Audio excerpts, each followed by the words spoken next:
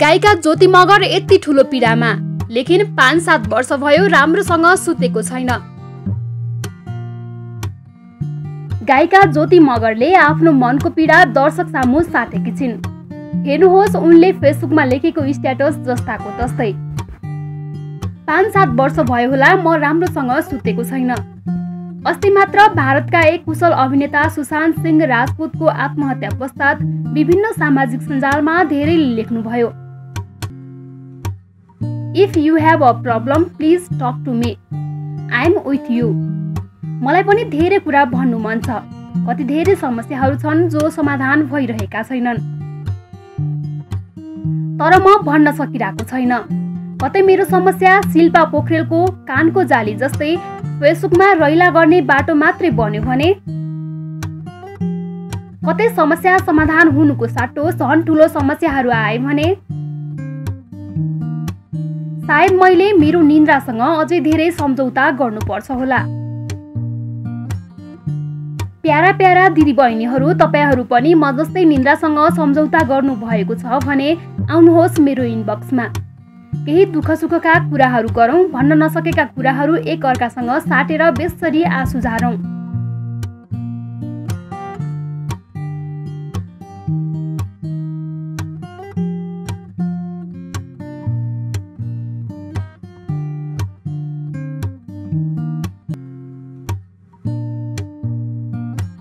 गायिका ज्योति मगर यति ठुलो पीडामा।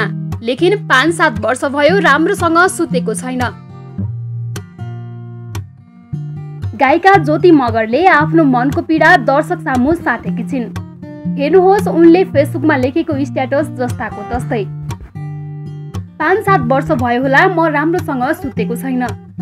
अस्ति मात्र भारतका एक कुशल अभिनेता सुशान्त सिंह राजपूतको आत्महत्या पश्चात विभिन्न सामाजिक सञ्जालमा धेरैले लेख्नुभयो। If you have a problem please talk to me I am with you मलाई पनि धेरै कुरा भन्नु मन छ। कति धेरै समस्याहरू छन् जो समाधान भइरहेका छैनन्। तर म भन्न सकिरहेको छैन। कतै मेरो समस्या शिल्पा पोखरेलको कानको जाली जस्तै फेसबुकमा रैला गर्ने बाटो मात्रै बन्यो भने? कतै समस्या समाधान हुनुको साटो झन् ठुलो समस्याहरू आए भने? सायद मैले मेरो निन्द्रासँग अझै धेरै सम्झौता गर्नुपर्छ होला। प्यारा प्यारा दिदीबहिनीहरू तपाईँहरू पनि म जस्तै निन्द्रासँग सम्झौता गर्नु भएको छ भने आउनुहोस् मेरो इनबक्समा।